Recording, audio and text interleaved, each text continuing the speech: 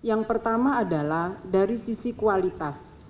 Pers dituntut harus mampu menjawab kebutuhan publik akan pentingnya informasi yang akurat, inspiratif, dan dapat dipertanggungjawabkan.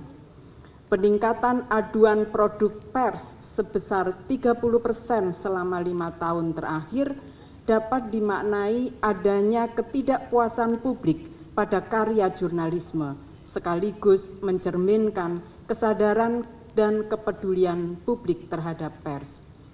Laporan Reuters tahun 2023 juga menyebutkan adanya penurunan kepercayaan kepada pers secara global. Hanya 40 persen responden yang menjawab bahwa mereka percaya penuh pada pers.